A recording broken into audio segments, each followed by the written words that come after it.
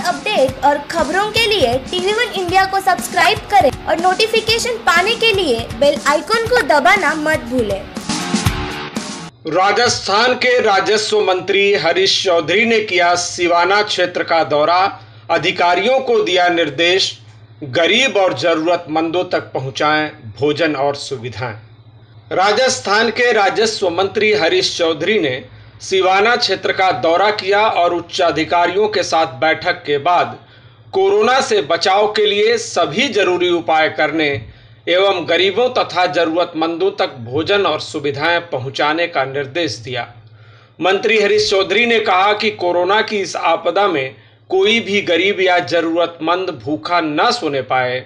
यह सरकार की पहली प्राथमिकता है।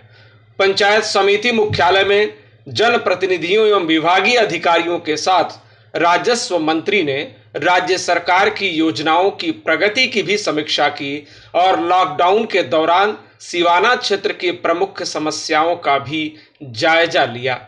अपने गृह ज़िले बाड़मेर का लगातार भ्रमण कर रहे राजस्व मंत्री हरीश चौधरी ने ज़िले में कोरोना टेस्टिंग को और बढ़ाने पर ज़ोर दिया एवं कोविड संक्रमण से बचाव के लिए होम क्वारंटीन को सबसे कारगर उपाय बताया।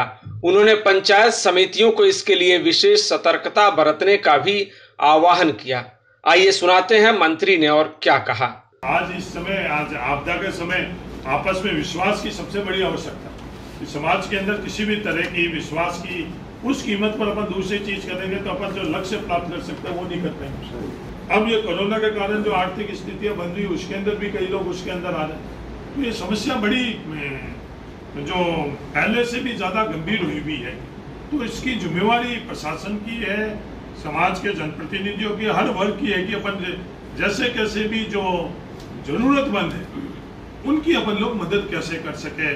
कुछ सरकारी स्कीम के माध्यम से भी हो सकते हैं। जो हकीकत के अंदर गरीब थे और किसी के योजना से नहीं जुड़े हुए थे, थोड़ी संख्या उसमें हो गई, थोड़ी प्रवासियों के अंदर हो गई।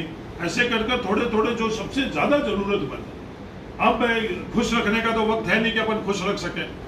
अब तो बिल्कुल ही ऐसी आपदा की स्थिति आ गई कि जो सबसे ज़्यादा ज़्यादा जरूरतमंद है, उनकी अपन लोग मदद कैसे कर सके? उससे बड़ा राष्ट्रीयवाद और उससे बड़ा धर्म आज के समय में कोई bureau report, TV one India.